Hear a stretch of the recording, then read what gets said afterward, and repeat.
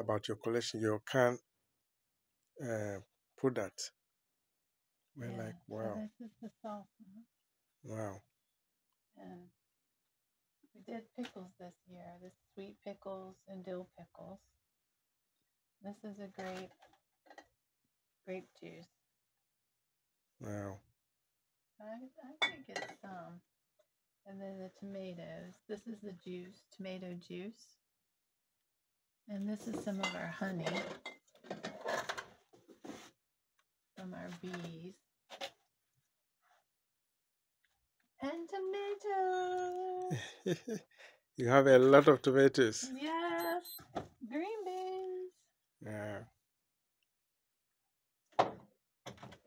Pears.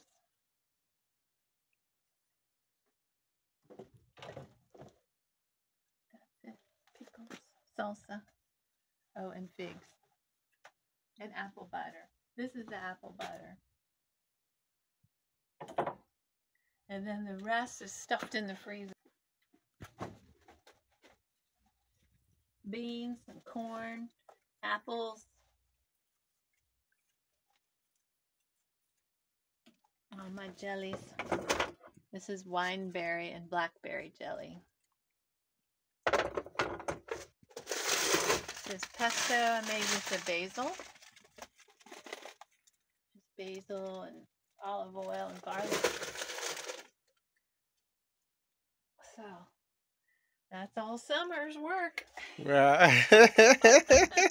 That's beautiful. And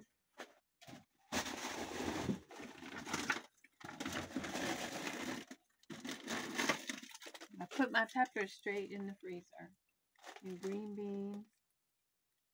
Where? And okra.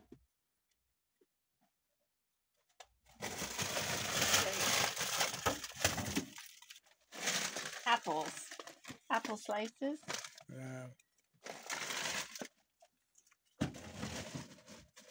Where am I?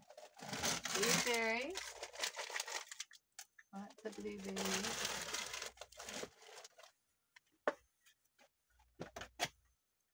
I don't know where my figs are. They're in there somewhere. Wow. All right. That is beautiful. I wish. right, so let's have a beer. Okay.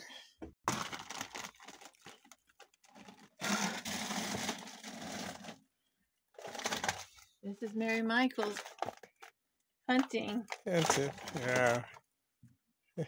So we are set for the winter. You good. Gonna eat good this winter. it's it's quite interesting that you preserve everything that you grow. yes. Yeah. Uh, That's that's why we grow it, so we can eat it all year. Because it'll be cold here soon, wow. and everything in the garden will die. I think all the gardeners need to learn from you.